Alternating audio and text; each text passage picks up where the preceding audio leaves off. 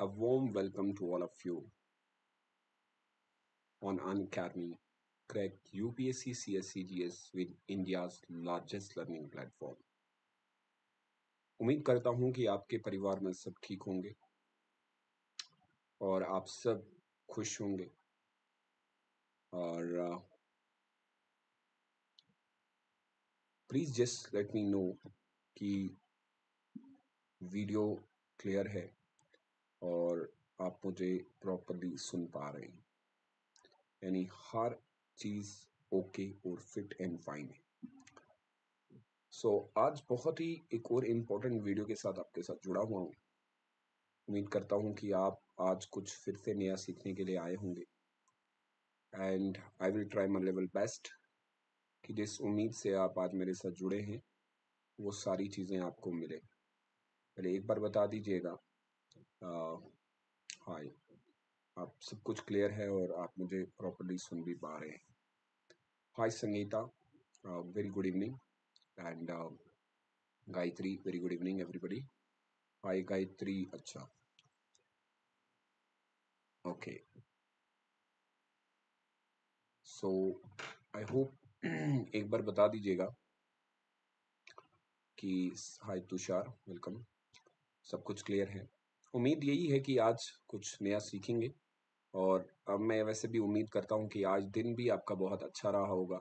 काफ़ी कुछ आपने पढ़ा होगा। इस बीच में आपने काफ़ी सारे टॉपिक्स काफ़ी सारी करंट अफेयर्स और भी क्लासेस ली होंगी। लेकिन वही है कि एंडिंग नोट बहुत अच्छा होना चाहिए यानी कि आप पूरे दिन क्या पढ़ते हैं फिर लास्ट को एक सुकून जो आता है कि आज आ, कुछ नया करके जो हम सो रहे हैं और कुछ नया सीख रहे हैं। आज बहुत ही इंपॉर्टेंट टॉपिक भी है और करंट अफेयर से बहुत ज़्यादा रिलेटेड है और नेशनल एजुकेशन पॉलिसी जो नई बनी उससे भी हम करेंट अफेयर्स को जोड़ने की कोशिश करेंगे। uh, क्या चीज़ें ऐड होनी चाहिए थी और क्या नहीं आई होप आप सबने हमारी नेशनल एजुकेशन पॉलिसी के बारे में भी पढ़ा हो। थीम पहले ही बता देता हूँ कि पूरी क्लास की थीम क्या है। बेसिकली हम लोग जीएस के लिए जुड़े हुए हैं और हम सोशल रिलीजियस रिफॉर्म मूवमेंट पढ़ रहे हैं। आज काफ़ी सारी वुमेंस की बात करेंगे प्लस एजुकेशन की भी बात करेंगे। एक डाइवर्स टॉपिक है, एक बहुत अच्छा टॉपिक है। काफ़ी सारी चीज़ें नई पता चलेंगी आपको आज। और सोशल रिलीजियस रिफॉर्म मूवमेंट का एक सेशन जो हमने शुरू किया था।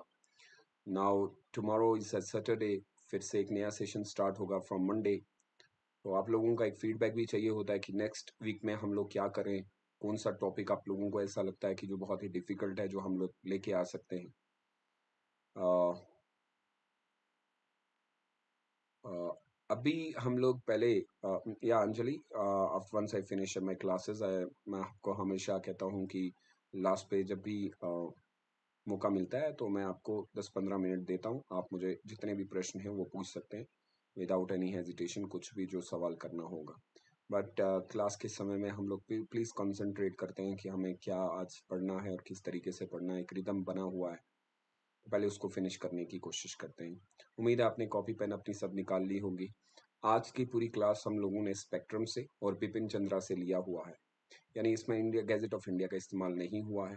साथ में इसमें करंट अफेयर्स का यूज़ किया गया है।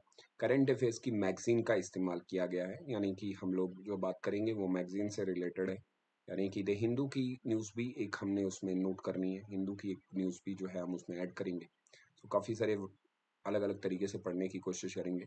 But before I should start my class, uh, introduction that uh, here in on India best will for U P S C N C S C और uh, यहाँ पे आप मेरी क्लासेस चेक कर सकते हैं free special classes I am going to start from tomorrow यहाँ पे Unacademy civil service championship हो रही है एंड आई होप आप लोग इसमें पार्टिसिपेट करेंगे। जहाँ पे आप अगर क्वालिफाई करते हैं तो सब टॉप जिन्होंने आई एस क्वालिफाई किया है वो आपके साथ रहेंगे। Apart from that weekly one on one personal mentorship start हो चुकी है। तो आई होप कि आप लोग जैसे ही सब्सक्रिप्शन लेते हैं तो आपको मौका मिलेगा इन लोगों के साथ जुड़ने का। एक बहुत ही बढ़िया ऑफ़र आया है कि अगर आप वन ईयर की सब्सक्रिप्शन के लिए जाते हैं या टू ईयर की सब्सक्रिप्शन के लिए जाते हैं so the most important you will get at twenty books year जो भी एक्सपर्ट्स हैं, जो यूपीएससी जैसे टीचर्स जो एजुकेटर्स हैं वर्थ रुपीज़ टेन थाउज़ेंड वो आपको फ्री मिलेगी वन ईयर सब्सक्रिप्शन के साथ। या टू ईयर सब्सक्रिप्शन भी लेते हैं तो उनके साथ आपको ये पूरा सब कुछ फ्री मिलेगा। And this is valid for the combo pack जो कि आप लोगों के लिए है। तो आई होप आप लाइव क्लासेस के लिए जुड़ेंगे।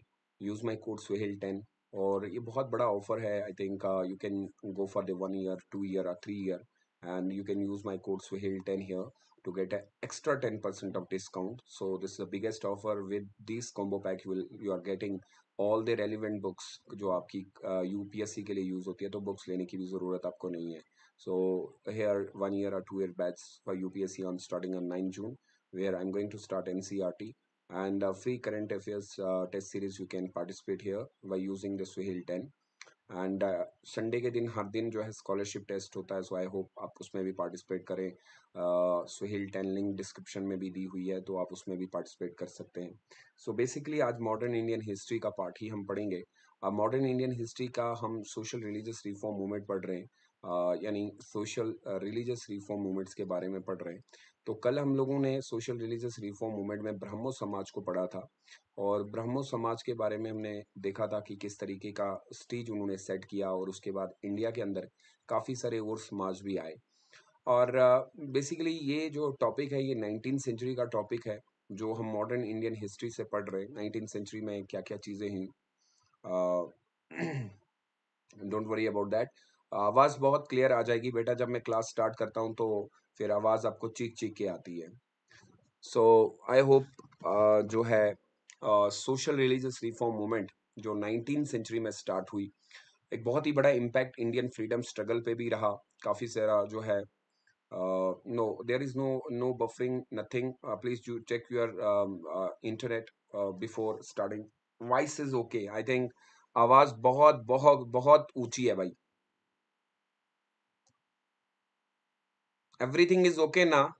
And once i start my class, i use very loudly and but before I should start ऐसे कैसे हो सकता है? टीचर पढ़ाते पढ़ाते ऊँचा हो जाता है तो आप टेंशन मत लिया करें। अभी सब कुछ क्लियर है, बस ये बता दीजिए वीडियो सब कुछ क्लियर है। ऑडिबल हूँ मैं आई नो दैट मैं जब क्लास शुरू करता हूँ तो बड़ा ही आहिस्ता आहिस्ता बोलता हूँ। अभी मैंने स्टार्ट ही कहा कि क्लास की, मैं इतने ज़ोर से बोलूँ, यार ये है, वो है। अभी तो मैं आपको सिर्फ़ इंट्रोडक्शन दे रहा हूँ कि हम लोग क्या करने के लिए जा रहे हैं। सो आज सोशल रिलीजियस रिफॉर्म मूवमेंट में ही पढ़ रहे थे। हमने कल ब्रह्मो समाज कंप्लीट किया था। उसके ऊपर आज ने बात की थी और आज हम इसी तरीके से एक बहुत ही माइंड में एक चीज़ लेके चलना कि हम लोग आज क्या पढ़ेंगे? यानी बेसिकली हम तो कल से ही पढ़ रहे हैं तो आज हमारे लिए क्या इंपॉर्टेंट रहेगा? सो आई होप आप लोगों ने नोटिस भी किया होगा और आपके थंबनेल पे भी आ जाता है कि हम क्या पढ़ने जा रहे हैं। बेसिकली आज हम बहुत ही इम्पोर्टेंट एक सोशल रिफॉर्मर की बात करने जाएँगे। होपफुली आप लोगों ने इनका नाम बहुत अच्छे से सुना होगा और काफ़ी सारी चीज़ें ऑलरेडी आप जानते भी होंगे। ऐसा नहीं है कि आप पहली बार ईश्वरचंद्र विद्यासागर को पढ़ने जा रहे हैं और ना ही आपने कभी इनका नाम सुना है। ऐसा कोई बंदा नहीं है जो कहेगा और प्लीज़ अपनी क्वालिटी ठीक ठीक कर लीजिएगा। कोई यूट्यूब के अंदर किसी की क्वालिटी खराब होती है तो वो कहते हैं कि इसमें क्योंकि मैं मेरी हैंड राइटिंग बहुत अच्छी है। सो so, आप मुझे चैलेंज नहीं कर सकते कि सर आपकी हैंड राइटिंग में कोई दिक्कत है।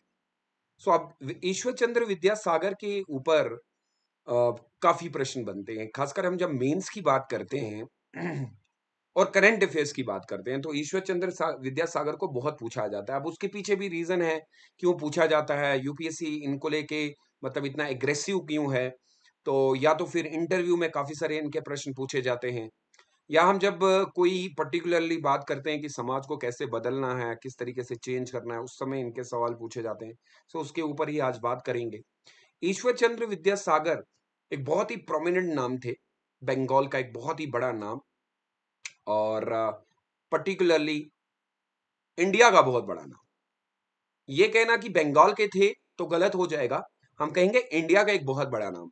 ईश्वर चंद्र विद्या सागर आपने ये नाम से थोड़ा सा डिनोट कर रहा है ना, विद्या। तो भाई, समझ जाइएगा कि इस बंदे ने एजुकेशन के ऊपर बहुत काम किया होगा। विद्या से ही पता चल जाता है।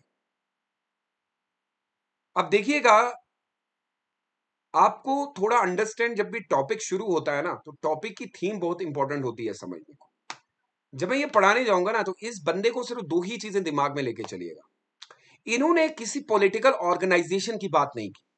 जब मैं राजा राम मोहन राय पढ़ा रहा था, या मैं जब कल हम लोगों ने केशव सिन्हा के बारे में पढ़ा, या उनके जितने भी फॉलोअर्स थे उनके बारे में पढ़ा तो हमने दो चीज़ें बहुत ज़्यादा पढ़ी। एक तो स्प्लिट के बारे में बहुत ज़्यादा पढ़ा, कल की बात कर रहा हूँ। और फिर उसमें मैंने आपको बताया था कि कुछ इश्यूज़ क्रिएट हो गए, यानी कन्फ्लिक्ट हो गए।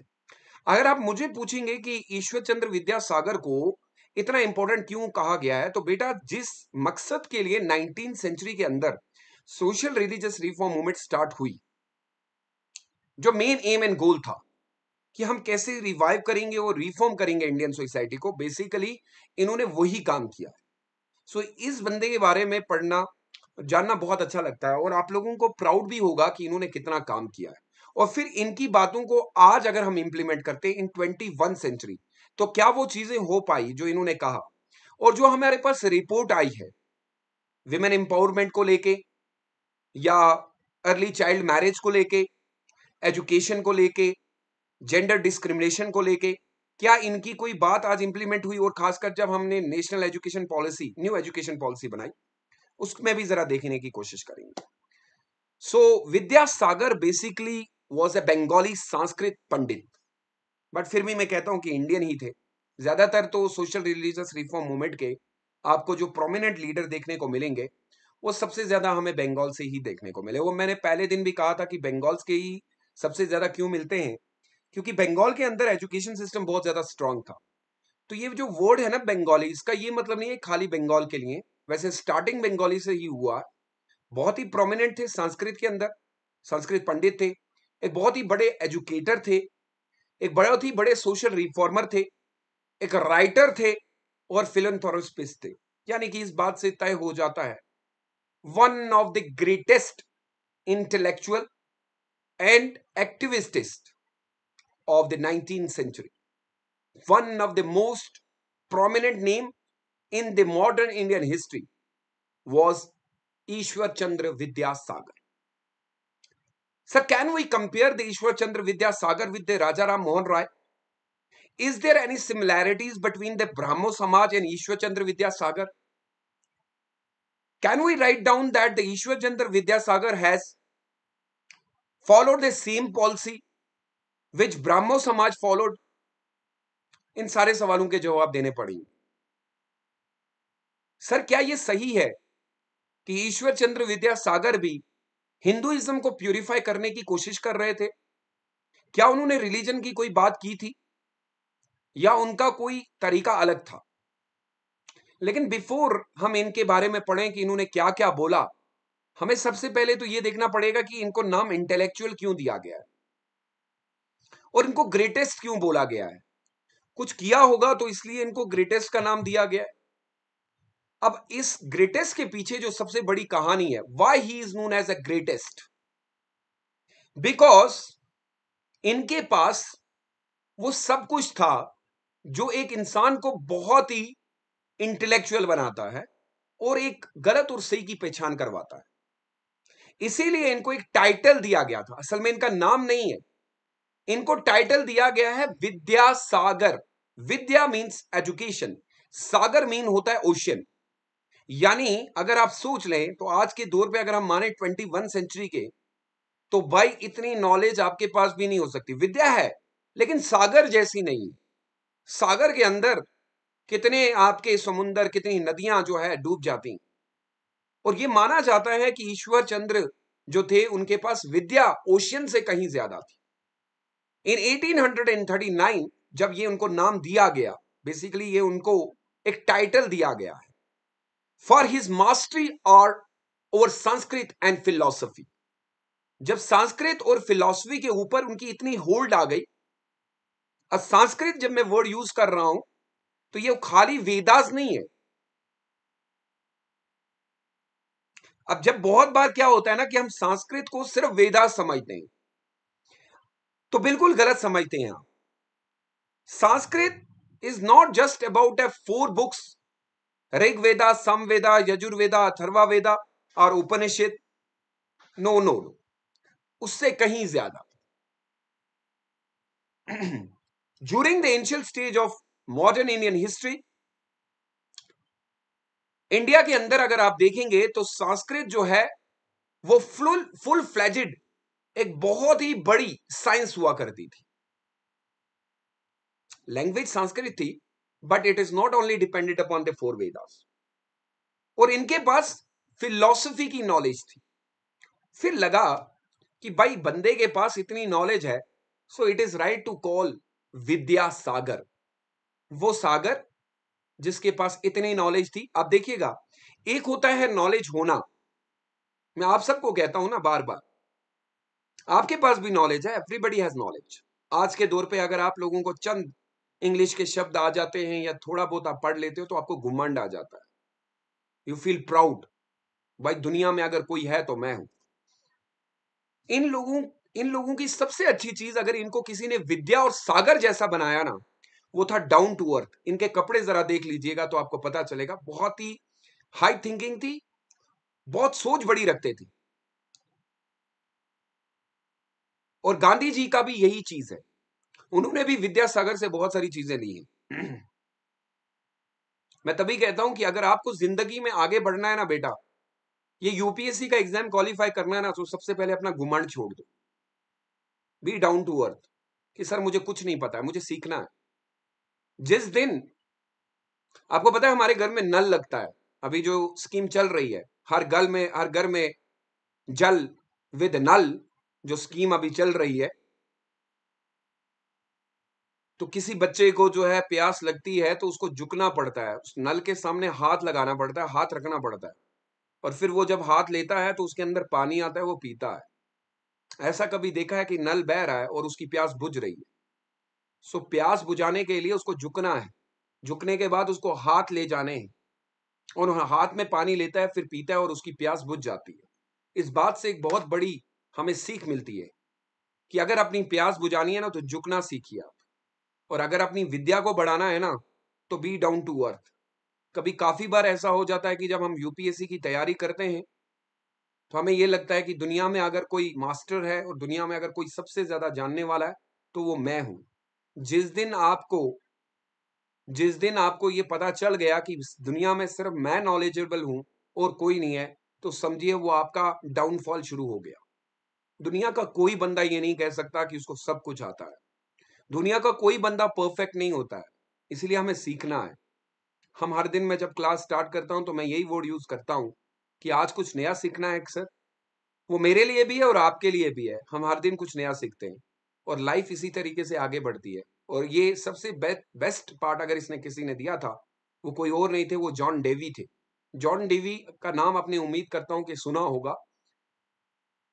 बहुत बड़े नाम थे उन्होंने एजुकेशन के बारे में काफ़ी सारी चीज़ें दी। आई होप किसी ने अगर एजुकेशन में मास्टरी की होगी तो उनको पता होगा कि उन्होंने क्या कहा था एजुकेशन के बारे में। सो विद्यासागर उनमें से एक थे। अब देखिएगा कि विद्यासागर का जो वर्ड भी यूज़ हुआ है वो भी बहुत अच्छा यूज़ हुआ है। The word Vidya Sagar means ocean of knowledge in Hindi लोग आज भी इनको इसी नाम से जानते और एक होता है नॉलेज का होना। एक होता है उस नॉलेज को फिर यूटिलाइज करना। मैं काफ़ी सारे बच्चों से मिलता हूँ, उनको बहुत कुछ पता होता है, लेकिन वो एक्सप्रेस नहीं कर पाते।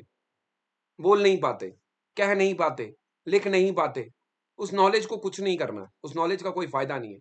अगर विद्यासागर के पास इतनी नॉलेज थी तो उन्होंने प्रैक्टिकल यूज़ भी किया है उसका।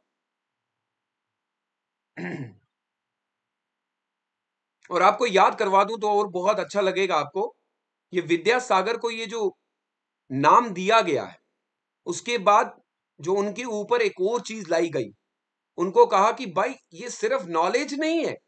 वही मैं बात हमेशा यूपीएससी कैंडिडेट्स को कहता हूँ कि UPSC is not only about a book bookish knowledge सबके पास है। अब देखिए, Macaulay मैदुसन is under understood have given him the epithetic Daya Sagar एक था विद्या सागर और बोला, ये दया सागर है। यानी नॉलेज के अंदर, जब तक आपको नॉलेज के अंदर वो डेप्थ नहीं होगी ना, वो डीपनेस नहीं होगी ना, वो लव इफेक्शन नहीं हो गई यानी कि आपने पढ़ लिया और आपको लगता है कि बस दुनिया में मैं हूँ। उस नॉलेज को हमें ज़रूरत नहीं है, ज़रूरत भी नहीं है। नॉलेज लेने के बाद बंदा कितना बिहेवियरल चेंज होता है। तो कहते ना कि what do you mean by कि एजुकेशन का मतलब क्या होता है? तो कहता है कि मॉडिफिकेशन ऑफ़ बिहेवियर वो इनका हुआ था। वो इनका हुआ। And he was a selfless दुनिया में अगर आप लोग अब इस यूपीएससी की जर्नी में आ गए हो मेरे पास पढ़ो या दुनिया के किसी भी टीचर के पास पढ़ो यारा, जहाँ पढ़ना है, जिसके पास भी पढ़ना है बुकिश मत बनना। बुक्स आपको सिर्फ़ आप एक चीज़ दिमाग में रखिए। मैं जब भी आपको पढ़ाता हूँ ना तो मैं आपको बार बार कहता हूँ, आपको यूपीएससी में किताबों का कीड़ा नहीं बनना डाइवर्स नॉलेज होनी चाहिए। आपको डॉक्टर बनना है, आपको sometime you need to be act as engineer sometime you need to be act as a collector sometime you need to be act as a nurse sometime be as a tehsildar sometime be as a patwari, हर चीज़ पता होनी चाहिए। वो ocean बनता है वो बंदा, और जब वो प्रैक्टिकली यूज़ करता है, और वो विद्यासागर के अंदर देखने को मिला। और उसके बाद, अगर बींग एज एजुकेशनिस्ट अब देखिए बंदा क्यों मुझे अच्छा लगता है? क्योंकि जिस काम के लिए सोशल रिलीजियस रिफॉर्म मूवमेंट हुई नाइनटीन सेंचुरी के अंदर नाइनटीन सेंचुरी के अंदर यह कहा गया था कि भारत को बदलना है। तो इन्होंने कहा, भारत को अगर बदलना है तो धर्म की बात ही क्यों करनी? See the difference between the Raja Ram Mohan Roy and Ishwar Chandra Vidyasagar see the difference between the Ishwar Chandra Vidyasagar and Keshav and Debendranath Tagore कल भी हमने पढ़ा, इनकी जरा बात कीजिए। इनके मुताबिक Vidyasagar strongly believe that everyone irrespective of caste or gender, had the right to education. यानी अगर किसी समाज को बदलना है, सबसे पहला पार्ट यह है that there should be no discrimination at all either it is caste और a gender and the most important thing एक समाज को बदलने के लिए सबसे पहले राइट टू एजुकेशन होना चाहिए। और आज भी मैं मानता हूँ कि यूरोप के अंदर जो फोर्टीन सेंचुरी के अंदर, यूरोप के अंदर तो फोर्टीन सेंचुरी के अंदर ही रिनेसेंस आ चुका था। तो आपको क्या लगा? वहाँ पे फोर्टीन सेंचुरी में जो चेंज यूरोप में आई तो एजुकेशन से आई ना मेरे भाई? भारत के अंदर अगर हमें बदलाव लाना है, हमारे समाजी मुद्दे हमें ठीक करने हैं social issues right to education we have near about one millions youth right now आज की बात कर रहा हूँ करंट की। एक मिलियंस यूथ ऐसे हैं जो बिल्कुल अनपढ़ हैं, जो बिल्कुल पढ़े लिखे नहीं वो देश कभी आगे नहीं बढ़ता है जहाँ के लोग पढ़े लिखे ना हो। मैं ये भी मानता हूँ कि एजुकेशन के साथ साथ हमें बाकी की एक्टिविटीज़ भी करनी चाहिए।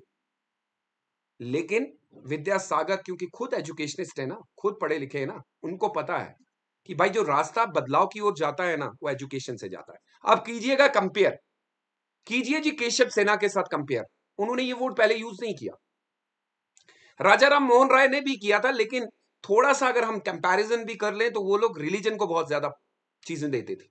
इन्होंने वो बात नहीं की directly said that that condemn the caste system and bring the right to education for everybody so do you think that it will work of course in twenty one century if we implement the same concept of Ishwar Chandra Vidyasagar in contemporary India do you think that we can eradicate the caste system and gender Yes or no? Right now, India is facing the same problem. What we were actually facing during the 19th century. क्या आपको लगता है कि हम ईश्वर चंद्र विद्यासागर की teaching को आज के दौर पे इंप्लीमेंट करेंगे तो क्या कास्ट सिस्टम और जेंडर को हम खत्म कर सकते हैं जो जेंडर डिस्क्रिमिनेशन हो रही है yes of course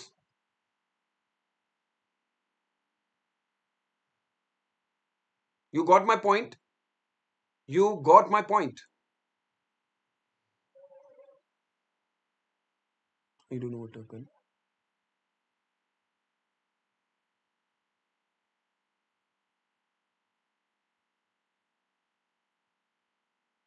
Please I request everybody don't commit until and unless ये वो वगैरह ना लिखिए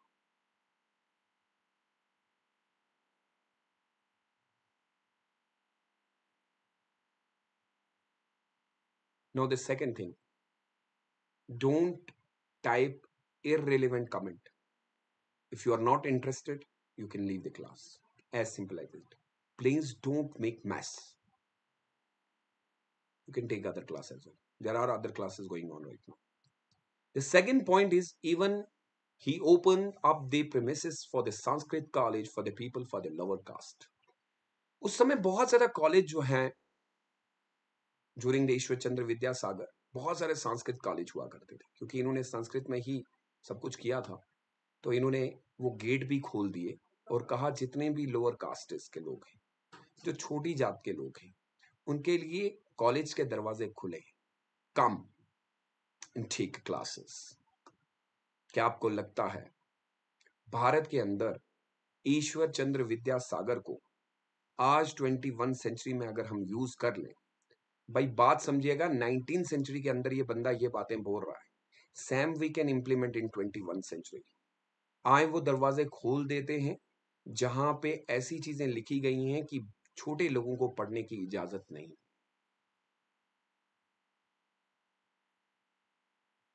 Now do remember one more thing. When I talk about they open up the premises of the Sanskrit college for the people from the lower caste, ऐसा क्या था sir Let remind you one more thing. During the 19th century, the entire Indian society, मैंने कल भी बताया था उस समय रिलीजन के अंदर बहुत ज़्यादा जुटी हुई थी। Apart from that there was so much caste system आपको नहीं लगता है कि जो दोनों पॉइंट मैंने आपको पढ़ाए जो कल हम सोशल रिलीजियस रिफॉर्म मूवमेंट पढ़ रहे थे आज बेसिकली लग रहा है कि आज हम सोशल रिलीजियस रिफॉर्म मूवमेंट पढ़ रहे हैं। कल तो सिर्फ़ लड़ाइयाँ पढ़ रहे थे। एक स्प्लिट हो रहा था एक वहाँ जा रहा था एक कोई शादी करवा रहा था, एक कोई ऐसे करवा रहा था। लेकिन आज जब ईश्वर चंद्र विद्यासागर पढ़ रहे हैं तो समझ में आ रहा है कि वाकई में नाइनटीन सेंचुरी में सोशल रिलीजियस रिफॉर्म मूवमेंट करने की ज़रूरत क्यों थी? और किसे कहा जाता है सोशल रिलीजियस रिफॉर्म मूवमेंट? कल जब हम पढ़ रहे थे तो हम खुद कंफ्यूज थे कि भाई ये तो आपस में ही लड़ रहे हैं, ये बदलाव क्या लाएँगे? तभी मैं कहता हूँ कि यूपीएससी के लिए ये बहुत ज़्यादा इंपॉर्टेंट है। फिर उन्होंने कहा, जब दो पॉइंट हो गए, अब ये स्टेटमेंट बेस्ड क्वेश्चन हो जाएगा कि उन्होंने क्या क्या कहा था। बहुत अच्छे से सुनिएगा। And it will be very much easy to know जब आप स्पेक्ट्रम पढ़ेंगे, तब आपको ये बहुत इजी लगेगा। तब आपको पता लगेगा कि आपने क्या पढ़ा है। क्योंकि जब आप स्पेक्ट्रम खोलेंगे तो काफ़ी सारी चीज़ें बहुत ही हेक्टिक तरीके से आपको पता चलेंगी। He also encourage school scholars to study ancient वाह बोला, मेरे स्कॉलर्स लोगों, मेरे टीचर लोगों, आज जैसे हम टीचर्स को कहते हैं तो इन्होंने कहा था कि भाई एक काम करें कि क्या स्कॉलर्स को हम लोग कहें कि वो थोड़ा बहुत अपने देश के बारे में भी पढ़ ले। So do you think that why why why he said like said reason was if you don't know about your culture how you can bring a change in the system भाई सिंपल सी बात है। मुझे एक बच्चे ने एक message किया था, कुछ कुछ चार या पाँच दिन पहले की बात है। बहुत इंटरेस्टिंग सी स्टोरी है उनकी उन्होंने मुझे बहुत और उनको ये सवाल ईश्वर चंद्र विद्यासागर से भी मिल जाएगा। तो उन्होंने मुझे कहा था कि सर आर्ट एंड कल्चर एक आई ऑफिसर को पढ़ने की ज़रूरत क्या है? मतलब हम क्यों पढ़ते हैं? डांस भारत नाट्यम ये सारा कुछ कच्ची पुड़ी ये पढ़ना है उसके बाद Mauryan empire sir Gupta empire पढ़ा रहे हैं सर ये सर सर हम आई ऑफिसर बनने जा रहे हैं कि हमें इतिहास पढ़ना है सर हम हिस्टोरियन बनने जा रहे हैं? सो so, भाई सिंपल सी एक बात है।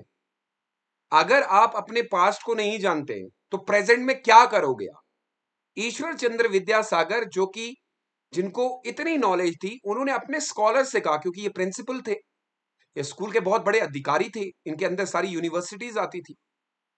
तो उन्होंने कहा था, भाई, कि सबसे पहले मेरे स्कॉलर्स को, आज तो अनफॉर्चुनेटली हमारे टीचर्स जो पढ़ा रहे पहले उन लोगों को अपनी हिस्ट्री पता नहीं होती है। It's not only about westernization सिर्फ़ गांधी को पढ़ा के आप ये नहीं कह सकते कि आपने पूरी हिस्ट्री पढ़ा दी।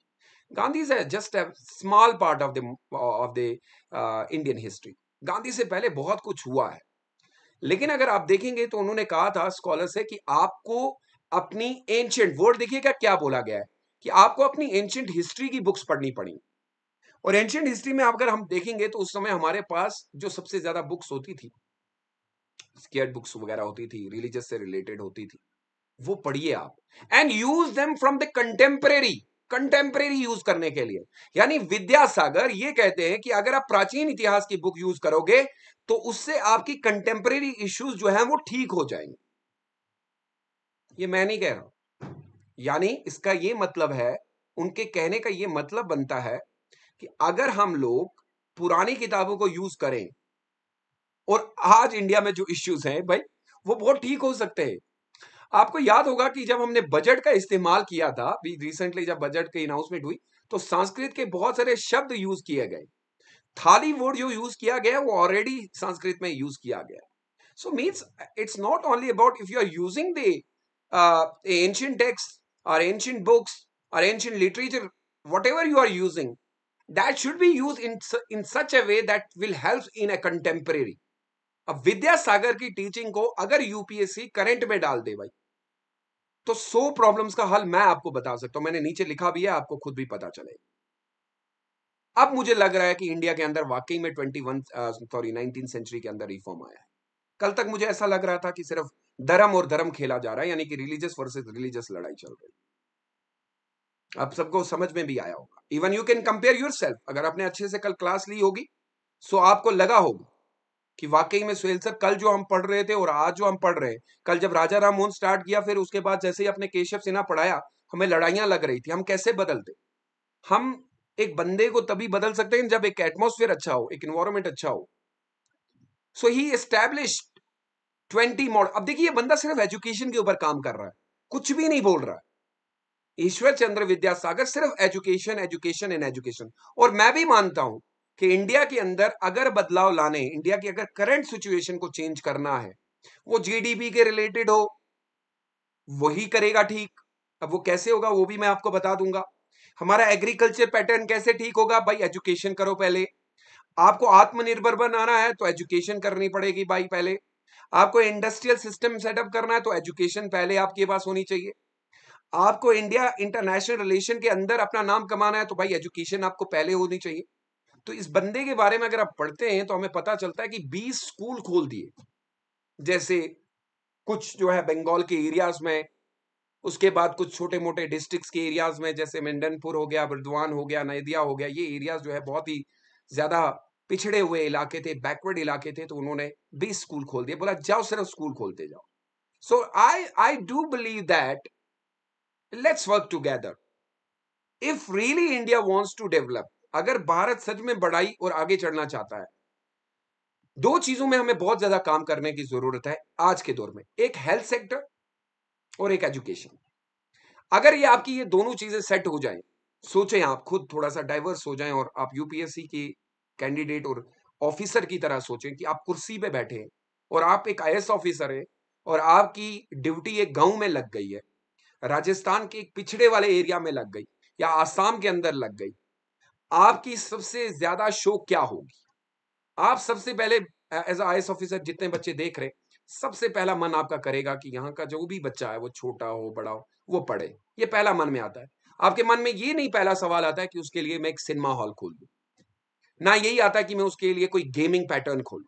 पहला मन में सवाल, क्योंकि आपको भी पता है कि आप उस जगह जहाँ पे पहुँचे हो, आप एजुकेशन की वजह से पहुँचे तो आपका दिल भी करेगा कि उस गाँव का हर एक बंदा पढ़ा लिखा हो।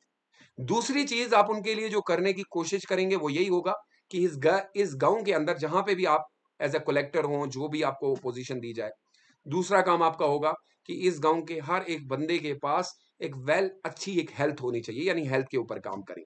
अगर ये दोनों चीज़ें आपके पास हैं तो बाकी की चीज़ें तो खुद ब खुद ही आ जाती हैं। और वो ईश्वर चंद्र विद्यासागर ने की। एंड वॉट ही डन जो आप एज अ बींग ऑफिसर करते हैं उन्होंने एग्ज़ाम पैटर्न को भी चेंज कर दिया। सेड लाइक कि अगर जो एग्ज़ाम सिस्टम होता है, क्योंकि आप ये कॉलेज के अंदर थे तो उनको लगा कि एक और रिफॉर्म करने की ज़रूरत है। वाकई मुझे लगता है कि नाइनटीन सेंचुरी के अंदर जो रिफॉर्म आया है the credit should goes to Ishwar Chandra Vidyasagar much the reason why because बंदे ने एक ही चीज़ के बारे में बात की। अब यहाँ पे देखिएगा कि एग्ज़ाम का पैटर्न को चेंज किया गया। आज हमारे इंडिया के अंदर एक बहुत बड़ा मुद्दा चल रहा है। मुद्दा ये चल रहा है कि भाई क्या सीबीएसई के एग्ज़ाम ऑन टाइम नहीं हुए? फिर अचानक से एक हमें ये कहना पड़ा कि एग्ज़ाम नहीं होंगे, बाबा ठहर जाओ। एक वर्ड बहुत अच्छा लिखा जाता है कि classes in Zoom classes on Zoom exam in room क्यों होना चाहिए?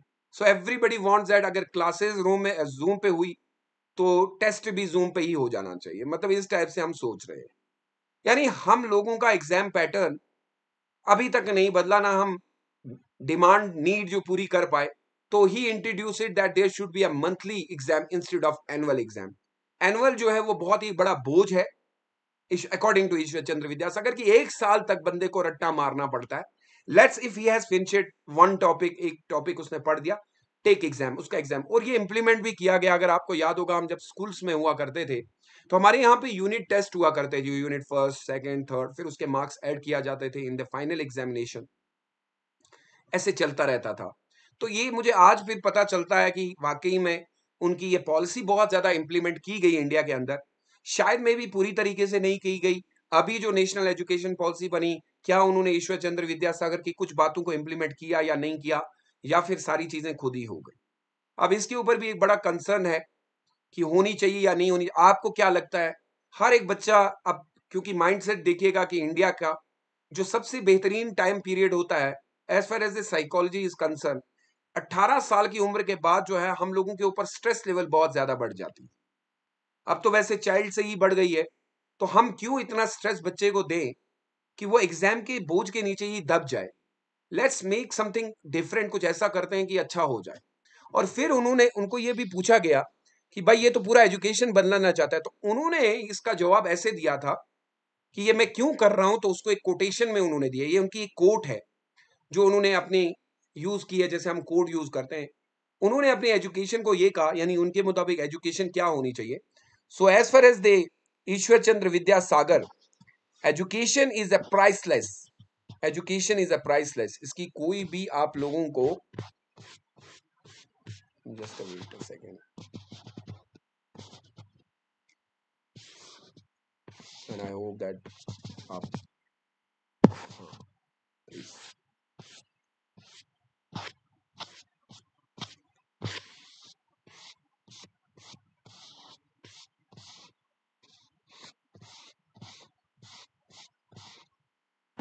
Now see education is a priceless ये बहुत ही प्राइसलेस होती है। एक ऐसा खजाना ज़िंदगी का, जिसको कोई चोरी नहीं कर सकता। आज तक कभी आपने नहीं सुना होगा, ये तो सुना होगा बहुत बार कि सोना चोरी हो गया। बहुत सारी चीज़ें चोरी होगी, कभी ऐसा सुना एजुकेशन चोरी हो गई। सो इट्स अ प्राइसलेस इसकी कीमत ही नहीं है कोई। एक ऐसी ट्रेजरी होती है जो बड़ी पड़ी होती है। Just it's arrival not only welfare at the individual ये सिर्फ़ इसलिए नहीं ली जाती कि सिर्फ़ सुहेल तुर्की को फ़ायदा हो। But pay the way for the largest scale of development of the society हम एजुकेशन इसलिए लेते हैं ताकि समाज को उसका फ़ायदा हो। लेकिन आज अगर हम एजुकेशन को देखें it has become an individual perspective क्यों पढ़ रहे हो? पैसा कमाना है। क्यों पढ़ रहे हो? लोगों को दिखाना है। क्यों पढ़ रहे हो? बाबा दम दिखाना है। So for Ishwar Chandra Vidyasagar it was a welfare education हम इंडिविजुअलिज्म की ओर जा रहे हैं। इंजीनियर क्यों बना रहे हो? क्योंकि पड़ोसी का अभी बच्चा जो है इंजीनियर बन गया। तो जलन है। एजुकेशन के अंदर जलन नहीं होती है। एजुकेशन एक फ्री बॉन्ड है। एक, एक बर्ड की तरह हवा के झोंके की तरह चलती है। वो दिल से ली जाती है और उसका एक ही मकसद होता है कि समाज को कंट्रीब्यूट किया कि नहीं किया। अगर एक दिन भी आपने उस एजुकेशन को कंट्रीब्यूट समाज की ओर कर दिया होगा। सो मुझे आज ये लगता है कि हमारे बेसिकली ईश्वर चंद्र विद्यासागर को अगर हम टीचिंग परस्पेक्टिव में भी डाल के देखें, यानी कि हम अपने टीचर्स को भी बताएँ कि क्या है तो उनके लिए भी बेनिफिशियल है। प्लस आप लोगों के लिए तो वैसे भी है जो लोग अननेसेसरली मैसेज वगैरह करते रहते हैं ग्रुप्स के अंदर या फिर जब आप क्लासेस दे रहे हो, उनको भी पता चलना चाहिए। तभी मैं ये कहता हूँ कि मैं कभी देखता भी नहीं हूँ। मुझे पता चल जाता है कि एक बच्चा किस चीज़ के लिए तरस रहा है कौन सी चीज़ उसको चाहिए। वो वाकई में उसके अंदर वो है। बेसिकली कभी काफ़ी बार होता है ना कि बंदे बहुत ज़्यादा अपने आप को इंटेलेक्चुअल समझता है। और वो वो ये कहता है कि दुनिया में सब कुछ मुझे पता है और बाकी सारे के सारे ऐसे ही बेवकूफ़ आए थे। तो वो ईश्वर चंद्र विद्यासागर ने क्लियरली बताया, जिस बंदे को वेलफेयर के बारे में पता नहीं है, अगर वो इंडिविजुअल लेवल पे काम कर रहा है तो भाई उसका कल्याण हो जाएगा। सो इंडिविजुअलिज्म हमारा काम था ही नहीं। इंडिविजुअलिज्म काम जो है वो यूरोपियंस का था। वो पढ़ते हैं अपने लिए हम अपने लिए हम सोसाइटी के लिए पढ़ते हैं। वो इल्म ही क्या जो हम किसी के साथ बांट ना पाए। वो इल्म ही क्या जो आपको बोल बोलने का एक मौका तक ना दे। वो इल्म ही क्या जो आपको आपके समाज के अंदर एक रेपुटेशन ना दे पाए। लोग आपको जान ना पाए। तो फिर इस इल्म का कोई फ़ायदा है? वो तो फिर हो गया कि you have done with in the four wall आपने चार दीवारों के अंदर सिर्फ़ अपनी डिग्रीज को चिपकाने के लिए किया है नो नॉट एट ऑल मेरे लिए तो ये है। मैं ये मानता हूँ कि अगर आपके पास कम ही इल्म है, लेकिन आपने उसका यूटिलाइजेशन किया तो आप उससे बेटर हैं जिसने पीएचडी कर दिया है। पीएचडी करके भी अगर आपने कुछ नहीं किया तो फिर क्या करना है? हम पढ़ते किस लिए हमें बचपन से ये पढ़ाया जाता है कि भाई आपको लोगों के लिए काम करना है। अब आप डॉक्टर बन रहे हो तो गरीब के लिए बनो, अमीर के लिए बनो तो एटलीस्ट डॉक्टर अगर अपनी ड्यूटी नहीं करेगा तो फिर डॉक्टर क्यों बोलूँ? टीचर अगर टीचर है वाकई में, उसने बच्चों को पढ़ाया है, उनकी ज़िंदगी बदला है तो टीचर कहूँगा ना, नहीं तो टीचर नहीं कहूँगा ना। सो हर एक बंदे के अंदर ऐसी चीज़ें बहुत इंपॉर्टेंट है और ये अगर किसी ने कंट्रीब्यूट किया था नाइनटीन सेंचुरी के अंदर तो इसका क्रेडिट ईश्वर चंद्र विद्यासागर को जाता है। और 1921 सेंचुरी की बात करता हूँ, यकीन माने इस कोटेशन का यूज़ आज कर लीजिएगा, मेहरबानी करके। उनके लिए जो टीचर हैं, उनके लिए जो आप लोग पढ़ रहे हैं ना, जो आप लोग कर रहे हैं, क्योंकि जैसे ही आपको कोई अथॉरिटी आ जाती है ना तो आप भूल जाते हैं। आपको लगता है सिर्फ़ मैं हूँ और दुनिया में कोई नहीं। अब वाकई में इंसान बनना है तो ऐसा बनिएगा, नहीं तो फिर मत ही बने तो बेटर है। फिर आपके लिए बहुत सारी और चीज़ें भी हो अब सर, ये तो रही उनकी जो उन्होंने एग्ज़ाम को चेंज किया, फिर लोगों ने उन्होंने पूछा कि आपको क्या लगता है एजुकेशन क्या होना चाहिए? लेकिन इन्होंने बहुत ज़्यादा लैंग्वेज के ऊपर भी बात किया, धर्म के ऊपर नहीं, लैंग्वेज के ऊपर। अगर लैंग्वेज की बात करें तो क्योंकि संस्कृत जानते थे और भी बहुत सारी लैंग्वेज जानते थे, पढ़े लिखे थे, लेकिन उन्होंने, उनको ये लगा he simplified the Bengali Bengali language को बहुत ही सिंप्लीफाई कर दिया। टोपोग्राफी अगर आप देखेंगे, हर एक लैंग्वेज का अपना एक टर्म्स होते हैं। और इल means sorry ill means I am sorry I am I have used the Urdu word ill means education ए एम आई इल्म इल्म I sometime I use Urdu word तो इल्म का मतलब होता है education Vidya. Vidya it is in Hindi it's called vidya. In Urdu it is called ilm, in, in English it is called education, knowledge, something like that. No, sorry.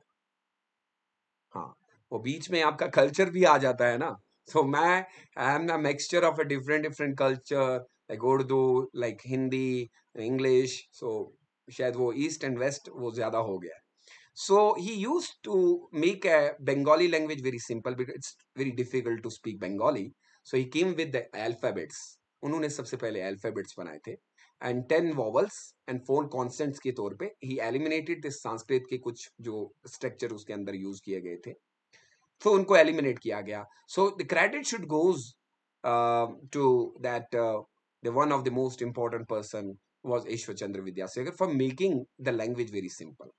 So, at that time, there was so much difficulty to speak Bengali उसका कोई पूरी तरीके से concept नहीं था लोगों को तो उन्होंने अल्फाबेट्स जो बनाए वो यूज़ किया अब देखिए आपको पता होना चाहिए आई डोंट नो कि आप लोग इससे पहले जानते थे या नहीं जानते थे कि वॉवल का कंसेप्ट उन्होंने दिया इतने सारी चीज़ें उन्होंने आपको बताई।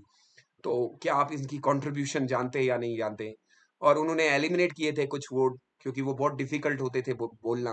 सो so, लैंग्वेज को सिंपल करेंगे तभी ना एजुकेशन समझ में आएगी। भाई अब जैसे हम लोग पढ़ते हैं तो हम लोगों में मुझे बहुत बार बच्चा कहता है कि sir only speak in English only speak in Hindi some says like Urdu Urdu वैसे कम बोलते हैं। तो फिर लैंग्वेज को उसी समय से मॉडिफाई करना पड़ता है। तो उनके समय में स्कूल के अंदर भी उन्होंने मॉडिफिकेशन लाई लैंग्वेज को बहुत ज़्यादा चेंज किया। एक उन्होंने बुक लिखी आई होप आप इस बुक को कभी आपने न्यूज़ में भी सुना हो। एक बुक है जो बहुत यूज़ की जाती है, जिसको कहा जाता है introduction the letter I hope शायद आप लोगों ने कभी पढ़ी नहीं है, ना ही नाम सुना होगा। ये book actually basically Ishwar Chandra Vidyasagar ने लिखी थी। इस बुक को बेसिकली जो ओरिजिनल नाम है थोड़ा सा डिफ़िकल्ट है। This is known as Borno Porichoy Borno इसको मीनिंग होता है इंट्रोडक्शन द लेटर किसी लैंग्वेज की लेटर का इंट्रोडक्शन करना। आई होप ये बुक आप याद रखेंगे प्री के लिए। और still use in the introductive text to learn the Bengali alphabet अगर आपको बंगाली सीखनी है ना तो आपको पहले जो इंट्रोडक्शन जो स्टार्ट होता है ना, वो अल्फ़ाबेट से होता है। और वो अल्फाबेट्स के अंदर जो यूज़ किए गए वर्ड है ना so it it actually requires lot of things which actually Ishwar Chandra Vidyasagar made at that time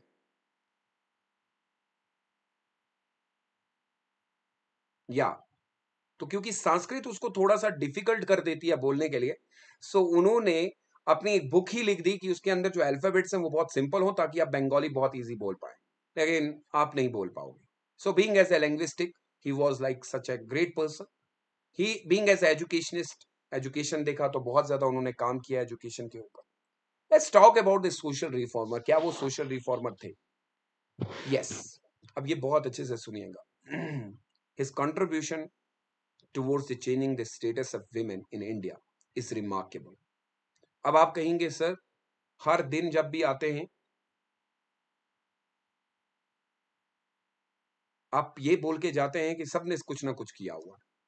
So I feel to understand sir हर दिन आप आते हो, कभी बोलते हो कि राजा राम मोहन राय ने कुछ किया, कभी आप बोलते हो कि विद्यासागर ने कुछ कर दिया, कभी। तो हम लोग भी बहुत प्रॉब्लम में हैं। या तो हमें क्लियर बता दीजिए कि किसने क्या किया है। तो मैं आप लोगों को एक बात बता देता हूँ। कि जब भी हम किसी रिफॉर्मर किसी इंसान के बारे में पढ़ रहे होते हैं so please do remember one thing तो उसके हम बहुत सारी डाइवर्स चीज़ें देखते हैं। जैसे इनको हम एज ए एजुकेशनिस्ट भी देखते हैं, इन्होंने लैंग्वेज के ऊपर भी काम किया तो रिफॉर्मर भी हैं। लेकिन अगर आप मुझे पूछेंगे कि सर सबसे बड़ी कंट्रीब्यूशन इनकी क्या थी? भाई इन्होंने रिमार्केबल काम किया था विमेन के स्टेटस को हाई आप जितनी भी लड़कियाँ देख रही हैं वो जरा सुन लीजिएगा। बहुत बहुत अच्छे से सुन लीजिएगा। मुझे खुशी होती है। और बड़ा दुख भी होता है जब एक विमेन को पूछा जाता है कि, भाई, आपका जो पास था वो क्या था? आपको जानना चाहिए। अब यहाँ पे मैंने वर्ड लिखा है wide range of knowledge about the society he was a great contributor as far as the women education is concern ये क्या कहते हैं जरा समझिएगा, क्योंकि कल स्टेटमेंट बेस्ड क्वेश्चन होगा। He studies about the ancient history ancient text वो टेक्स्ट जिनके बारे में ये कहा जाता है कि वो ऐसी किताबें हैं जिन्होंने विमेन का स्टेटस को डिक्रीज कर दिया। अब कोई मुझे बताएगा, सर कैन यू लाइक अगर आप थोड़ी इंफॉर्मेशन अगर आप बुक खोलेंगे क्लास सिक्स की एनसीआरटी और चैप्टर नंबर आप टू पढ़ते हैं उसमें। आपको पढ़ने को मिलेगा एक चैप्टर एक तो स्टून एज का चैप्टर है, दूसरा चैप्टर हड़प्पन सिविलाइजेशन आप पढ़ेंगे एंड द थर्ड चैप्टर आप क्लास सिक्स की एनसीआरटी का पढ़ते हैं तो उसमें आपको आर्यन इन्वेजन पढ़ने को मिलता है। उस बुक के अंदर पहले पेज पे लिखा गया है कि during the Rig Veda the status of the women was brilliant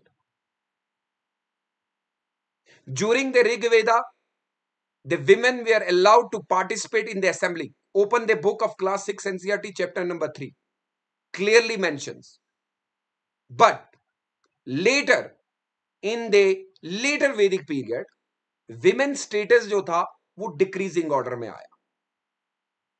और इसी समय भारत के अंदर तीन और किताबें आ गई।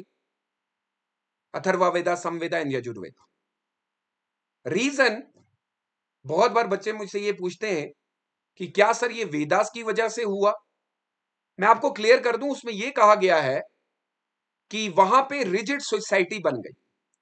It all because of the agricultural development because the same chapter अगर आप नेक्स्ट चैप्टर पे जाएँगे तो आपको एक चैप्टर देखने को मिलेगा that chapter is known as Janapadas in Mahajanapadas which is clearly mention in the class six NCERT कि लोगों के पास इकोनॉमिकली पावर आ गया एग्रीकल्चरली बहुत ज़्यादा स्ट्रांग हो गए।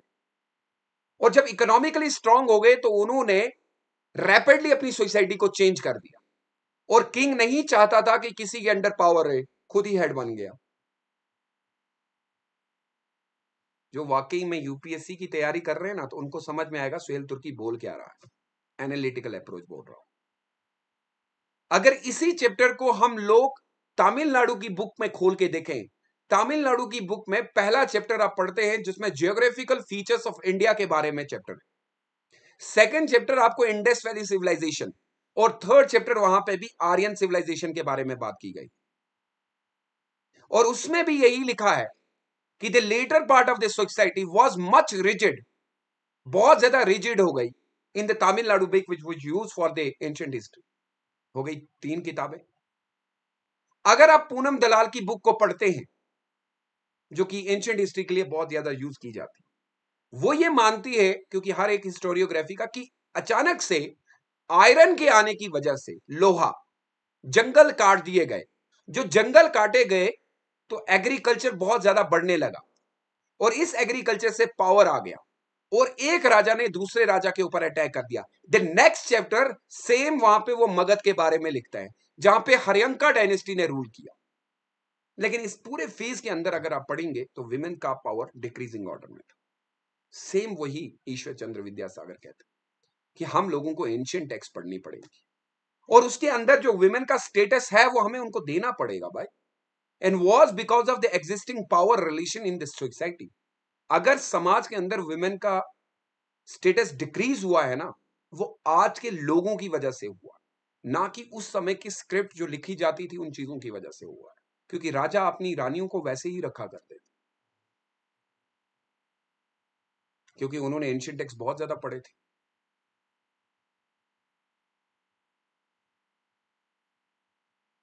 Let me give you one more book the book called D N Jha आप लोग नहीं पढ़िएगा? Neither I am saying like कि आप लोग जाके उन बुक्स को पढ़ें।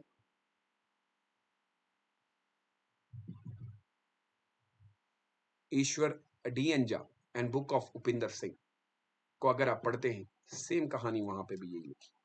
सो हमें ये मान लेना चाहिए कि as a social reformer as a social reformer he has done a tremendous job great job sir कोई रिलेशन ही नहीं कर सकते आप। उसके बाद रिज़ल्ट क्या हुआ सर क्या उनका ये करना कोई फ़ायदेमंद हो पाया या नहीं हो पाया? बहुत बार ऐसा होता है कि, सर, हम कुछ करते हैं, लेकिन रिज़ल्ट नहीं आता। जैसे आप लोग कहते हैं कि, सर यूपीएससी की तैयारी की तो रिज़ल्ट नहीं आया। क्या उनको कोई रिज़ल्ट मिला?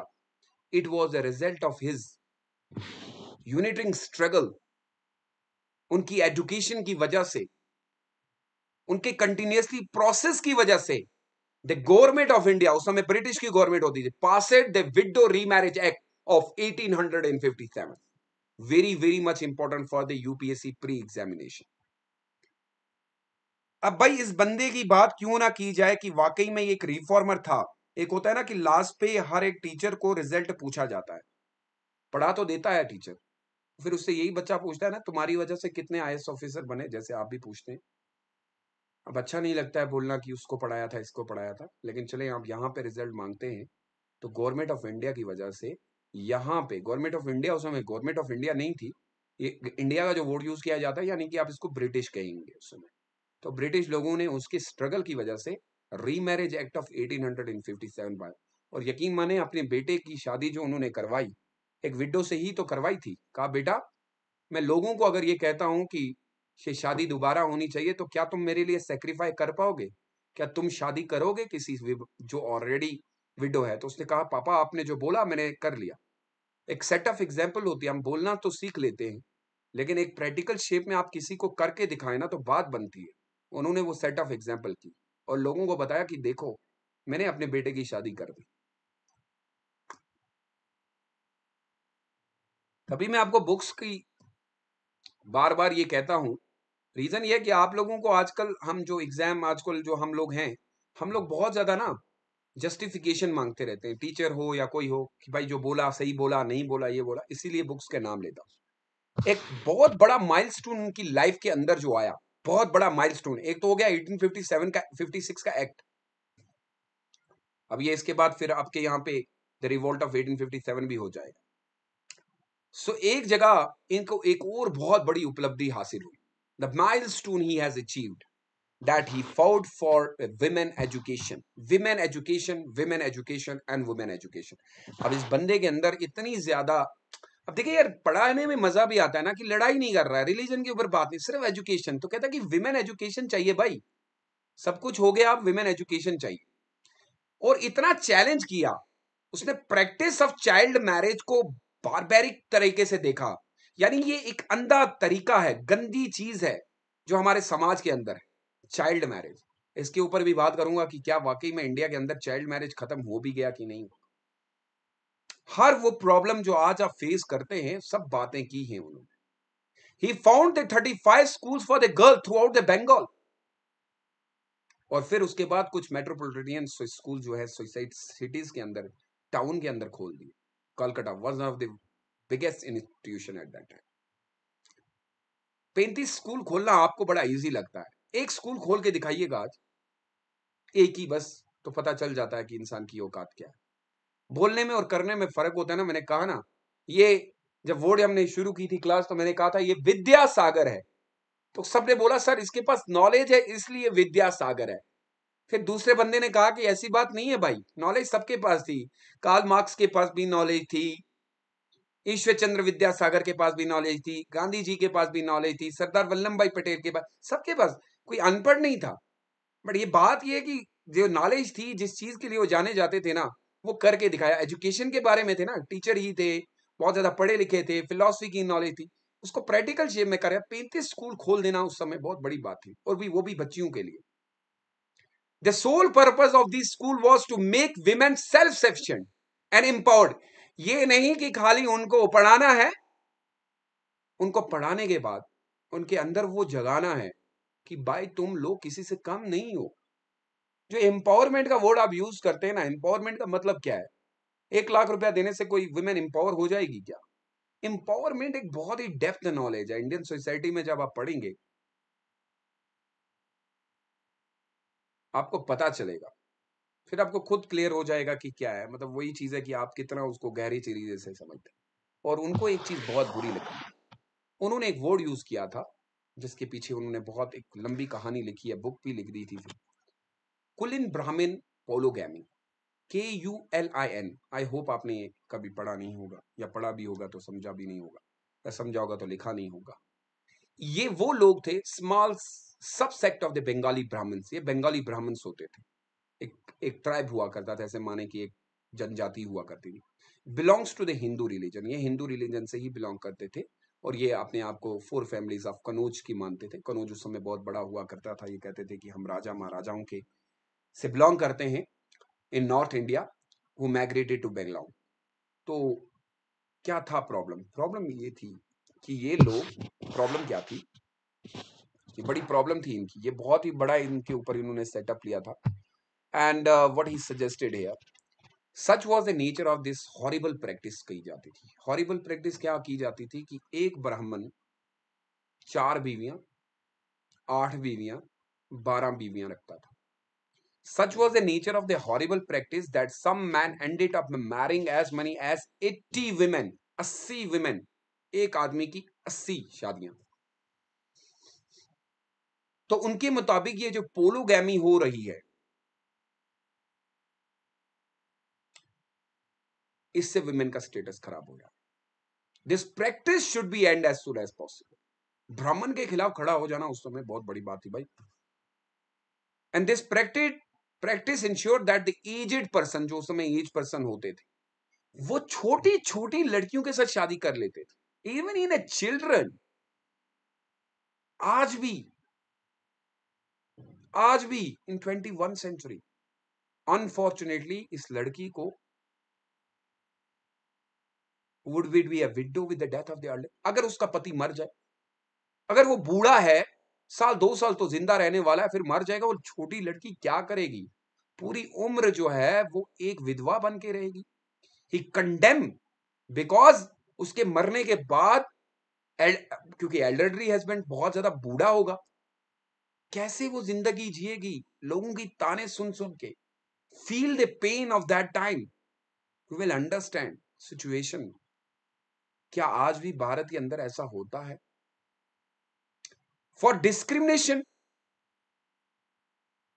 mostly for the women widow जो खासकर जिनके पति मर जाते और उनके ऊपर रिस्ट्रिक्शन इंपोज कर दी जाती है। यहाँ नहीं जाओगी, वहाँ नहीं जाओगी and dress the plain white cotton saris and remain with their shaved of heads और उनके सर के बालों के जो है पूरे बाल काट दिए जाते थे। अभी रिसेंटली अगर आपको सुनने में आया होगा रिसेंटली एक it was a proud moment for every Indian Pulwama में एक कर्नल थे, एक मेजर थे, जिनका, जिनको अटैक के अंदर उनकी हत्या हो गई। फिर उनकी बीवी ने एक वादा लिया कि मैं उनकी तरह जो है बन के दिखाऊँगी। अभी जस्ट कुछ दिन पहले उन्होंने एक ट्रेनिंग कंप्लीट की और उन्होंने वो कर्नल बनी। हमें वो भारत चाहिए। वो नहीं चाहिए जिसके अंदर पति मरने के बाद बाल काटने से वाइट साड़ी पहनने से, अगर आपको लगता है कि ये प्रॉब्लम्स ठीक हो जाती हैं so this is very bad some widow would even be thrown out of their houses और गंदे कामों के लिए यूज़ किया जाता है। वे विक्टिम्स बनती हैं वो। बिकॉज़ उनको सपोर्ट करने वाला नहीं होता है। क्यों? क्योंकि जब वो घर माँ बाप का छोड़ के आती हैं तो कहा जाता है कि उनके पापा उनसे कहते हैं कि, बेटा, अब तुम्हारे लिए ये घर नहीं है। अब तुम्हारा घर कहीं और है। वाई यार, घर, फिर उसका घर है कहाँ पे? पहले तो समझ में यह नहीं आता कि विमेन का घर है कहाँ जब वो पापा के घर में होती है तो कहा जाता है कि, कुछ साल के बाद तुम यहाँ से चली जाओगी। तुम्हें पढ़ना नहीं है, ये नहीं है। जब पति के घर में आती है तो पति के यहाँ पे प्रॉब्लम होती है कि तुम तो मेरी विमेन इधर इधर फीमेल लाई गई हो, तुम्हारा ये नहीं है, वो नहीं है। फिर वो बच्चों का इंतज़ार करती है कि बच्चे होंगे। फिर बच्चे लास्ट में अपनी शादी करके उसको छोड़ के चले जाते हैं। So you need to feel a pain then then you will be able to understand the issue at that time even in twenty one century so वो विद्या सागर, मैंने कहा ना education is not only about having a bookish knowledge to feel the pain मुझे अभी भी लगता है कि ऐसा अगर किसी के साथ हुआ होगा, वो कैसा फील कर रही होगी और ट्रस्ट में केसेस देखे गए उनके लिए लड़ा तो इससे बड़ा बंदा कौन सा हो सकता है यार? इससे ज़्यादा रिफॉर्म क्या करते वो? यार, कल रिफॉर्म जो पड़े ना, आज रिफॉर्म की बात है, ये थे रिफॉर्म ये इंडिया को आज चाहिए। And how is is it possible yes His work for the upliftment of women, their self-sufficiency and prosperity and empowerment along with his unitary efforts for Nari Shiksha remains unique. नारी को शिक्षा देनी पड़ेगी Beti Bachao Beti Padhao is the part of the Ishwar Chandra Vidyasagar पढ़ लिया बेटियों ने वो सोचने वाला कंसर्न है I, I, I'm actually sorry you are getting late like uh, we have done with one hour but still just a few minutes because मुझे current affairs भी इसमें include करना था but I time नहीं मिला uh, see the UPSC is all about discussion if you are not supposed to like कि आपने पढ़ के read कर दिया और discussion नहीं की biographical अगर हम देखें he was a very hard worker he was very honest patience perseverance courage determination philosophy of life अपनी पूरी ज़िंदगी उन्होंने इस पे जी। जिस बंदे के अंदर हार्ड वर्क होगा स्मार्ट वर्क होगा ऑनेस्टी होगी पेशेंस लेवल बहुत ज़्यादा होगा डिटर्मिनेशन होगी कॉरेज होगा, दुनिया की कोई भी चीज़ वो पा सकता है। ये सारी चीज़ें अगर आप ज़िंदगी में चाहते हो कि आप यूपीएससी का एग्ज़ाम क्वालिफाई करो तो ये चीज़ें करोगे तो यकीन मानिए कि अगर आपने कोई टाइम स्पेंड किया, जैसे कि अभी एक घंटा आपने मेरे साथ स्पेंड किया तो काफ़ी बार ऐसा लगता है कि यार एक घंटा दे दिया यार, पता नहीं क्या पढ़ाया, क्या नहीं पढ़ाया, कब आएगा?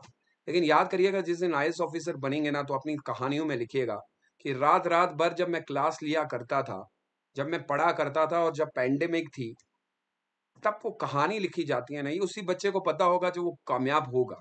कुछ को लगता होगा कि यार, यही एक घंटा अगर एक पिक्चर देख ली होती तो कितना मज़ा आ जाता। आई नो बट वो मज़ा ना कुछ पल का है और जो आने वाला है ना, जो ड्रीम जिस चीज़ का देखा है, वो अनलिमिटेड है बेटा। जब लोग आपसे पूछेंगे, तरसेंगे, भाई, हमारे लिए, सोचो जिस दिन आपके पास अथॉरिटी आ गई और आपने ऐसी विमेन कोई देखी जिसके साथ ऐसी और उसकी मदद आपने की, वो रात जो नींद की गुजरेगी ना आपकी, वो हज़ारों फ़िल्म देखने से भी नहीं मिलती है, वो सुकून जो आपको मिलता है, वो चेन आपको जो मिला आप कहते हैं ना, आजकल बहुत सारे लोग कहते हैं कि नहीं, कहीं चेन है, ना कहीं सुकून है। सुकून होगा कैसे? जब सुबह से शाम तक इंडिविजुअलिज्म इंडिविजुअलिज्म मैं ही हूँ, मैं ही हूँ, मैं ही हूँ। आप कभी ये भी कहें ना कि मैं कुछ नहीं हूँ। I am here for the work for the society बस। देखो कितना अच्छा दिन निकलेगा। उनके बाद उन्होंने बहुत सारी बुक्स भी लिखी। सम ऑफ़ हिज वर्क और बेताल पंचवनास्ती 1847 क्रॉनिकल ऑर्डर में मैंने डाल दी है। बहुत सारी है, जैसे कि बंगलार इतिहास बंगला के ऊपर बांग्लादेश के ऊपर एक बंगलार इतिहास पूरा ही रच दिया था। जीवन चित्रा फिर उसके बाद शकुंतला, जो कि बहुत ही बड़ा, इसका तो एक ड्रामा भी बन गया। महाभारता 1860 सेतरवनास याद रखिएगा, ये बुक्स जो है, आपको याद रखनी पड़ती हैं। बातनी विलास, उति अल्पा ओलिया, आबर ओती अल्पा ओलिया, ये नाम आपको थोड़े से डिफ़िकल्ट लगेंगे, लेकिन you need to remember because books के ऊपर बहुत ज़्यादा पूछता है। ब्रज विलास, आजकल तो पिक्चरों के नाम भी ऐसे ही रखे जाते हैं। रतन प्रकाश, ये ये क्रॉनिकल ऑर्डर में है तो आई होप आप इनको याद कर लेंगे। ये किताबें उन्होंने बहुत फ़ेमस लिखी थी, social religious reform movement so at the end of the day I can say that yes of course sir he was a great reformer and reform जो उन्होंने लाया ना, वो एजुकेशन सिस्टम के थ्रू लेके आए थोड़ा सा समय लूँगा, ज़्यादा नहीं लूँगा बिकॉज़ आप लोगों को लेट हो रहा होगा। मेरे पास कुछ रिपोर्ट है करंट वुमेन सिचुएशन जो ईश्वर चंद्र विद्या सागर दिखाते हैं और जो मैं आज करंट अफेयर्स में जो सिचुएशन देखता हूँ तो कुछ अलग से दिखती है। मैं थोड़ी थोड़ी चीज़ें बताता हूँ। तो यहाँ पे गवर्नमेंट ऑफ़ इंडिया की तरफ़ से कुछ ये मैगजीन है जो मैंने पढ़ी, मैं इससे पहले पढ़ी है तो आप लोगों को दिखाना चाहता हूँ। जो पढ़ा और वो कहाँ है, जो हो रहा है, वो कहाँ है। जरा उसमें से कुछ चीज़ें मैं पढ़ा देता हूँ। विमेन एम्पावरमेंट मीन्स जो हम लोग आज मानते हैं, जो विश्वचंद्र विद्यासागर कहते हैं, वो कुछ और हो गया और आज कुछ। यहाँ पे ये लिखा जाता है इंट्रोडक्शन में ये कहते हैं women empowerment means emancipation of the women from the various groups of a social, groups of economically, politically, caste, gender based discrimination. It means granting women the freedom of make a life. यानी हम लोग अपनी womens को जो empower करने की कोशिश कर रहे हैं जूम कर देते हैं, ठीक है? तो इसमें यह लिखा है कि हम लोग विमेन को ना एक लाइफ देना चाहते हैं, ऐसी लाइफ जहाँ पे वो उसकी freedom to make a life choice उसकी एक ऐसी चॉइस हो कि वो कुछ भी कर पाए। ये करंट की बात कर रहा हूँ करंट में क्या आता है? और फिर जब मैं करंट पढ़ता हूँ तो फिर सोचता हूँ कि कहाँ है, क्या लिखते हैं, क्या समझ में नहीं आता। फिर ये कहता है कि women empowerment does not mean defying a women rather it means a replacing the patriarchal type of family बहुत अच्छी होते हैं जब तभी मैं कहता हूँ कि आप करंट को कैसे पढ़ते हैं और उसको किस तरीके से रिलेट करते हैं। अब ये सोशल रिलीजियस रिफॉर्म मूवमेंट से रिलेट होता है इसलिए मैंने डाल दिया। ये कहता है कि ऐसा नहीं है कि हम वुमेन एम्पावरमेंट इसलिए करते हैं कि उसको डिफाइन करेंगे कि वे वुमेन है, ये मैन है, ऐसा कुछ नहीं है।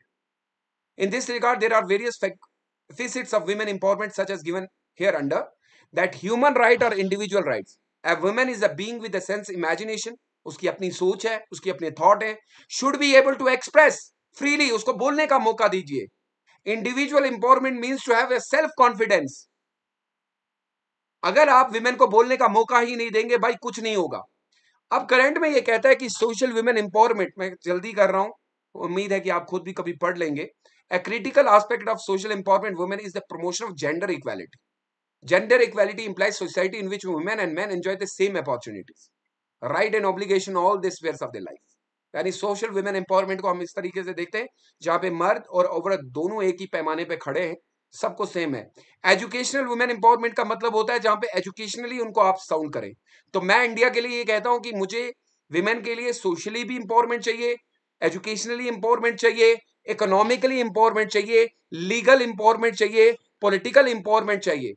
अगर आपको याद होगा कि एक मलाला आई होप इनका नाम सुना होगा पाकिस्तान अफ़गानिस्तान की थी आपको याद है इनके ऊपर अटैक भी हुआ था। मलाला यूसुफ के ऊपर पड़ा होगा आपने यूसुफ जाई।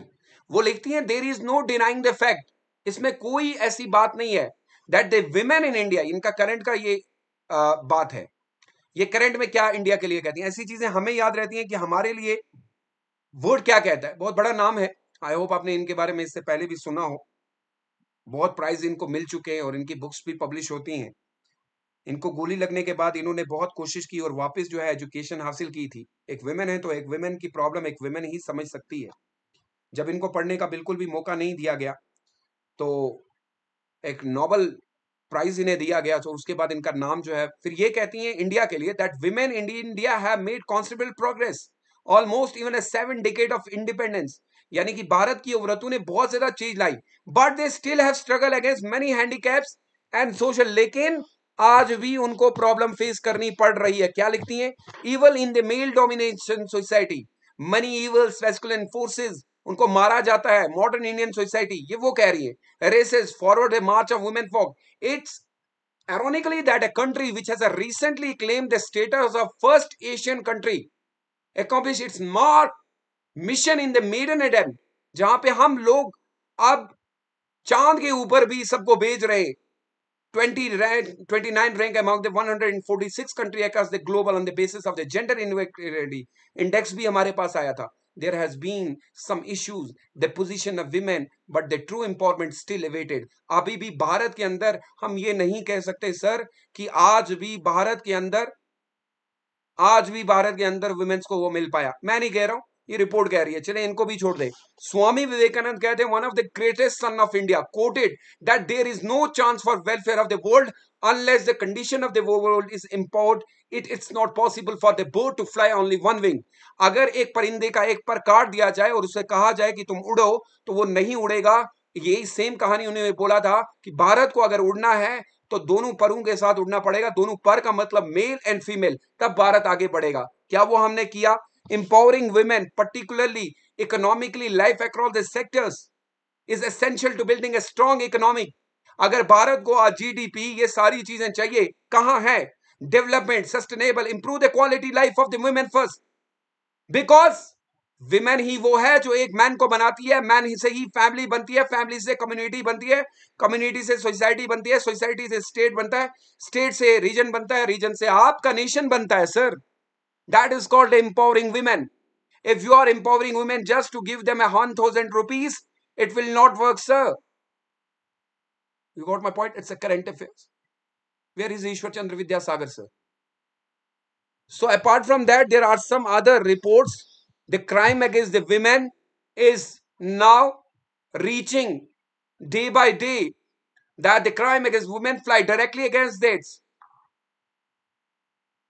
a report on the crime against women by the National Crime Record Bureau comes up with the alarming statistics.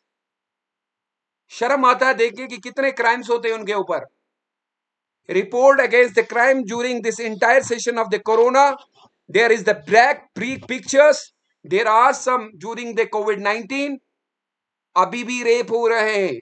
जब लोग मर रहे थे तो रेप भी हो रहे थे। I am not going to detail with static portion because UPSC is not asking static portion but still this is not the good picture at all the rate of the incident of the crime against women was reported eleven percent in West Bengal and Uttar Pradesh to you almost be on the top highest among the various state with the West Bengal and Assam saw approximately a fifth report crime against the women. The suicide rate is high, approximately half of that of man. There has so been much variation it come past decades. क्यों मारा जाता है क्यों मरती हैं तंग आके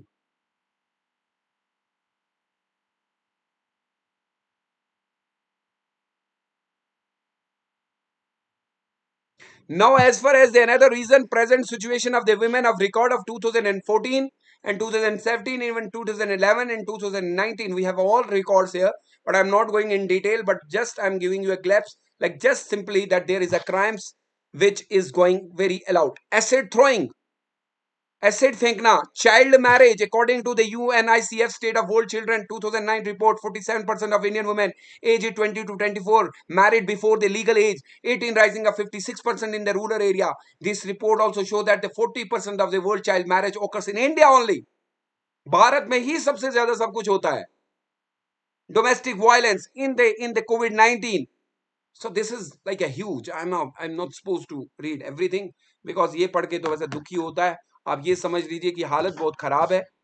So there is a so many things which I have to like कभी करंट अफेयर्स की न्यूज़ लूँगा। Why we need to empower women there is a constitutional amendment bill finding the studies suggestions i have in conclusion part. So i hope that uh, जो ईश्वर चंद्र विद्यासागर एक कहानी यहाँ पे दिखती है तो लगता है कि भाई कितने अच्छी सोसाइटी है।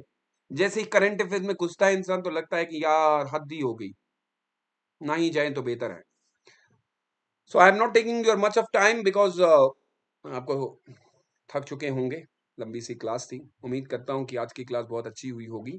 और आपको पाँच मिनट मिलते हैं कि अगर आपके कोई प्रश्न वगैरह हो तो please go had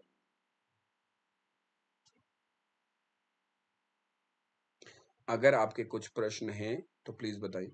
From where you are watching the current affairs from where you are watching the current affairs ऐसा नहीं है कि वॉचिंग कर रहा था मैगजीन से पढ़ते हैं और मैगजीन आती है। If you have any question please go ahead Anjali कहती हैं कि सर नो सर बट अच्छा रहा आज का सेशन नो सर बट अच्छा रहा आज का session thank you so much sir Pratibha कहती हैं, उम्मीद करता हूँ कि आप ने, आज आज वैसे मुझे भी लगा कि बाकी मैं सोशल रिलीजियस रिफॉर्म मूवमेंट देखी, वरना कभी दिखती भी नहीं थी कहाँ थी। Sir, current affairs name sir please okay sir thank you so much I hope you have enjoyed and those who have it first time my class please do join the UPSC mentor group of Telegram so telegram, so that you will get a update about the I suppose not to share the to share the pdf because uh, pdf share करने में थोड़ा सा मुश्किल भी हो जाता है। मैं तो वैसे भी शेयर करता हूँ। सर थी। Sir thank you sir and all that Anjali ने कहा है कि सर हाँ बेटा अभी अंजलि कुछ दिनों के बाद तो लंबी क्लासेस चलने वाली हैं। बिकॉज़ स्मार्ट बोर्ड पे आऊँगा तो डेफिनेटली कुछ चीज़ें ज़्यादा होंगी। Thank you thank you thank you so much universe for the given such a rich uh, religious reformer. Nice religious reformer. Thank you. Thank you so much bhumi. Uh, you are very like uh, i like uh, you are continuously taking my classes even एक single class भी आपने miss नहीं किया that's great sir women current affairs की PDF group में आज भेज दो okay Tushar and sir thank you so much for you are very great sir oh not great it's all because of you thank you so much sir so you don't have any question please I am here आप सवाल पूछ सकते हैं आप डरा मत करें भाई if you have any question regarding अच्छा एक बड़ी अच्छी बात है कि from like tomorrow is the last class Saturday Sunday को मैं क्लासेस नहीं लेता हूँ संडे को मैं ऑफ़ रखता हूँ. So I need a suggestion from all of you that the next week one week के लिए which class you want from my side like modern Indian history का कौन सा पार्ट आप पढ़ना चाहते हैं? तो वॉम सजेशन जो अच्छी आती हैं तो I welcome always because I think teach what actually is a need for the student, rather than coming up with your own thoughts like कुछ कभी कभी क्या होता है कि बच्चा को किसी पर्टिकुलर चीज़ में दिक्कत आती है तो for next one week I hope I I hope so कि आप लोग ऐसा करें। मेंटोर के ऊपर तो वर्ल्ड हिस्ट्री चल रही है और यहाँ पे hopefully I can change the subject in special classes में मैं कुछ क्लासेस आपके लिए एक्स्ट्रा करवा सकता हूँ। या या Sakshi please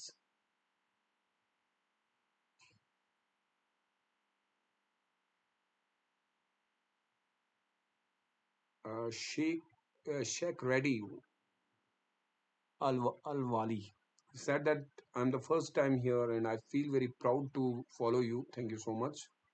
Um, thank you so much for your uh, love and support.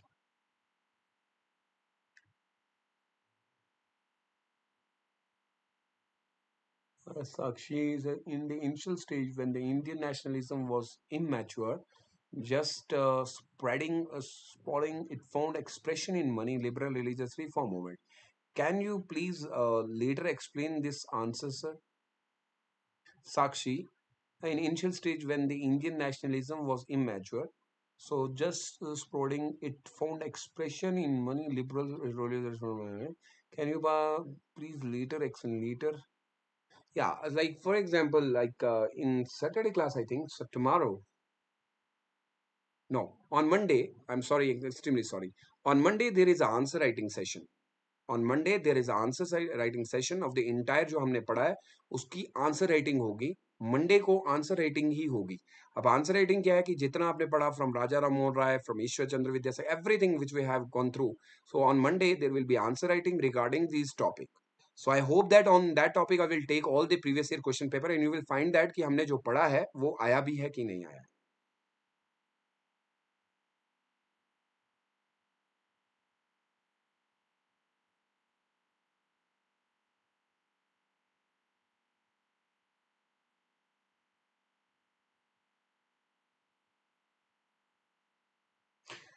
Respected uh, Bandanam, you don't need to remember the uh, exact word, exact numbers that how much schools he has opened.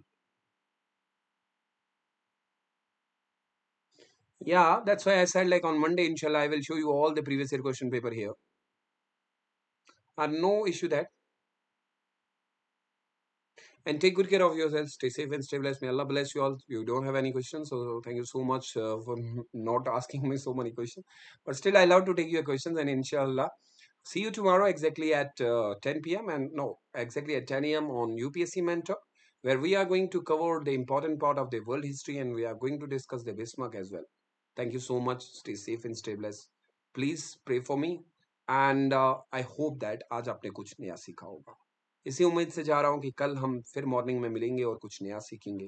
तब तक अपना बहुत ज़्यादा ख्याल रखिएगा मुझे भी दुआओं में याद रखिएगा। जाने से पहले यदि अगर आप मेरी किसी भी क्लास में एनरोल होना चाहते हैं this is the best time like Unacademy के साथ जुड़ने का ये बेस्ट टाइम है because you are getting lot of good offers that including the books for one year subscription you will get a get a less with GS and optional it's around 51,000 and for the two year it's very less with same. so I hope that you will join me because I'm going to start my the NCRT courses on 9th of June on you on An Academy plus courses. So अगर वहाँ join करना चाहते हैं तो please जल्दी से subscription ले लीजिए use my course will ten for the instant ten percent discount don't miss this chance trust me bye